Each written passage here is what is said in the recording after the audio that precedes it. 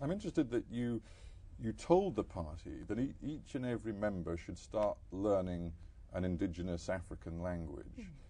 It's an interesting symbolic effort, but do you think that is enough to reach out to these black voters whom you want but you don't now have? Of course, it's not enough. It's a very small component. What we have to do is show people across lines of ethnicity and race that we really care for each other. That caring for another person is not a function of your skin color. You can passionately care about another person even though he or she has a very different culture, background, religion, or set of beliefs because we want this country to work and we want it to be a democracy.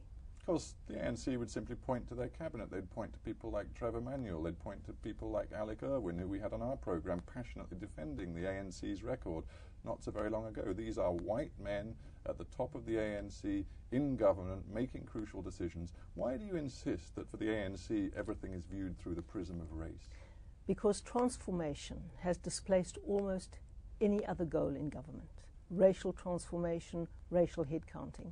That's why we've had a collapse of service delivery at almost every level of government, because racial transformation has become the overriding goal, not service delivery and not a determination, for example, to improve the quality of education or deal with the criminal justice system. Racial transformation is the number one goal, racial headcounting, quotas, irrespective of any outcomes. But of course, transformation is what this country needs. Transformation is about alleviating the poverty of pretty much half the population of this country who still, according to the government's own figures, do live in poverty. 40% jobless, almost all of them black. That's the transformation that the ANC is trying to deliver.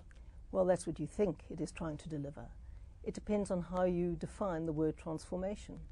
Our definition of transformation is to deal with the underlying causes of poverty and underdevelopment address those and transform this country through the policies of the Open Opportunity Society, we don't see transformation as putting political friends and cronies in top jobs, irrespective of skills, and believing that delivery and change will follow.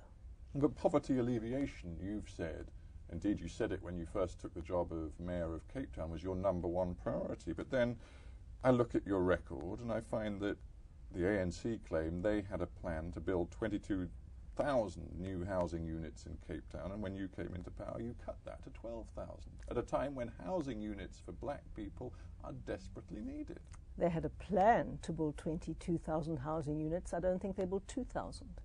And that's the huge difference. Between but you've cut, you've cut the plan almost in no, half. No, we've said what is feasible given the decimation of the skills base of the city because of racial transformation and the obsession therewith. This city was stripped of most of its management skills, its engineering skills, its technical skills, by an ANC administration obsessed with racial transformation. Then they had all kinds of targets which were totally unmeetable and no skills to even spend half their capital budgets.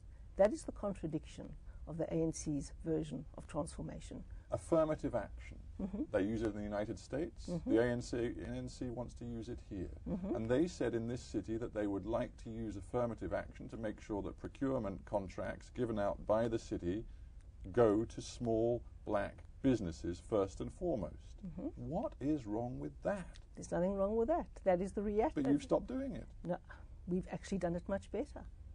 That is the ANC's rhetoric. Let's look at the reality. The reality was that most contracts, big contracts, were given to friends and people who had high political contacts. We're finding all of that out now with our forensic audits, which are throwing up some very interesting results. The ANC's version of affirmative action is manipulating outcomes and is purely a fig leaf for ensuring high office or good contracts for political contacts. Our version is completely different and much more effective.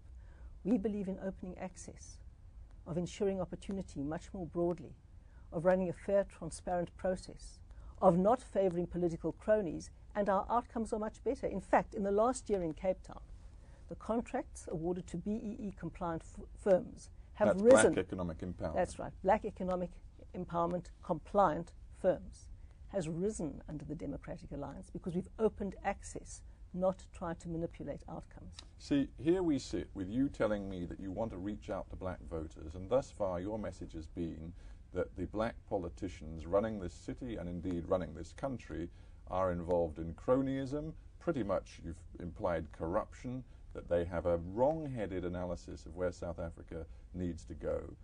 And yet, you're telling me you want to reach out to the black community, where the ANC is still regarded as the party of the liberation struggle, the party that delivered freedom for black people.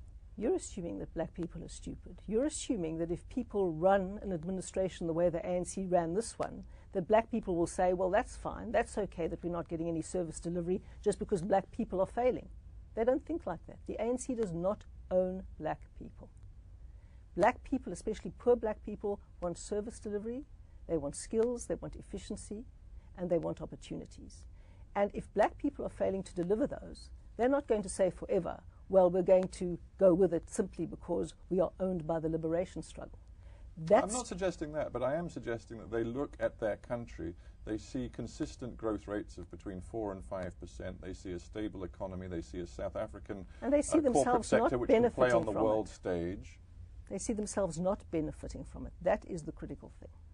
And the transition can have a graph that goes quickly upwards, but failure to deliver a skills base through falling education, which is the greatest tragedy of the new South Africa, won't keep that graph going upwards. You see, you think or you say black economic empowerment as run by the ANC isn't working. Absolutely. Take the example of a man we've just spoken to on this program, Tokyo Sexwale. Mm -hmm. He has become very wealthy as a result of black economic empowerment, but he has also found jobs for 65,000 South Africans, largely black South Africans. Is that not the way to deliver long-term growth and prosperity to this country?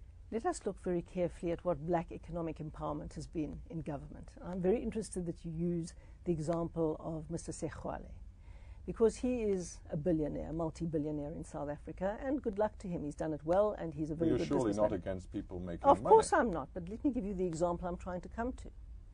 This government, under the ANC administration in Cape Town, had prime land, prime coastal land that they wanted to get rid of to ensure a major upmarket housing development to bring in money to the state's coffers.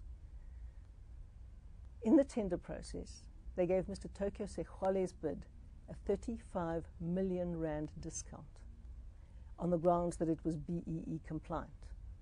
Now, they gave one of the richest men in South Africa a 35 million rand discount when they should have sold that land to the highest bidder so that we had 35 million rand more to deliver services to the poor.